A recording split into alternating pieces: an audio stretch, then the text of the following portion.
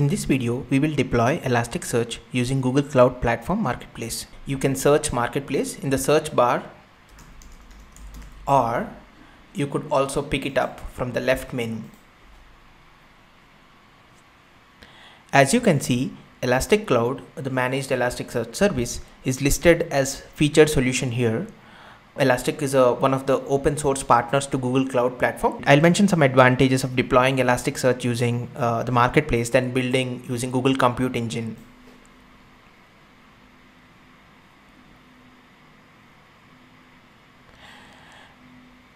There are some features and terms related to the support that you could read here. To get started, we'll simply click the purchase button.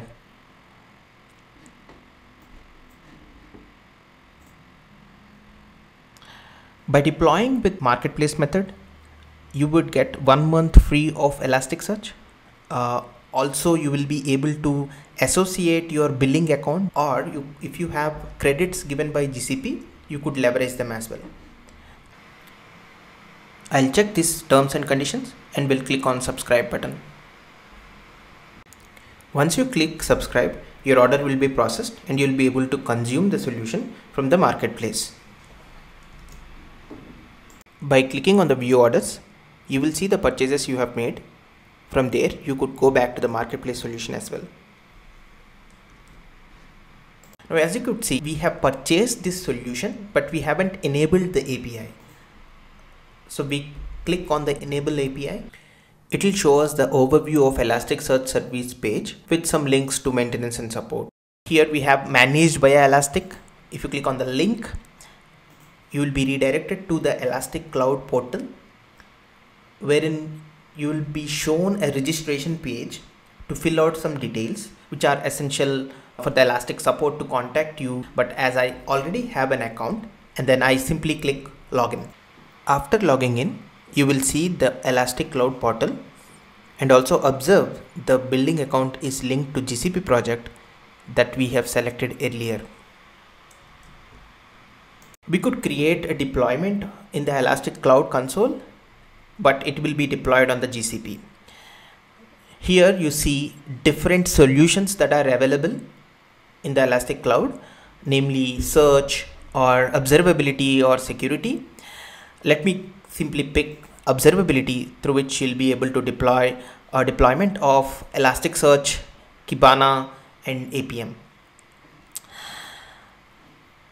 You could also select which region you want to deploy like say Singapore, Mumbai or you know some region in the Europe, the version of the stack and many other details.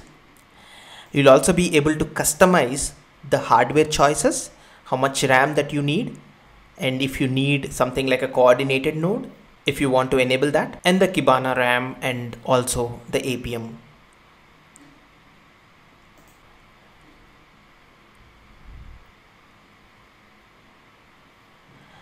you will also be shown uh, elastic and username and password you can click download to download the credentials but then anyway on completion of this deployment creation you can simply click on open Kibana and it automatically authenticates with the credentials and then logs you into the Kibana.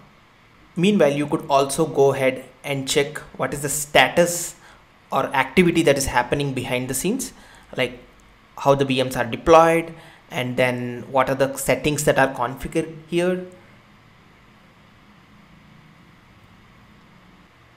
It might take few minutes to deploy the cluster.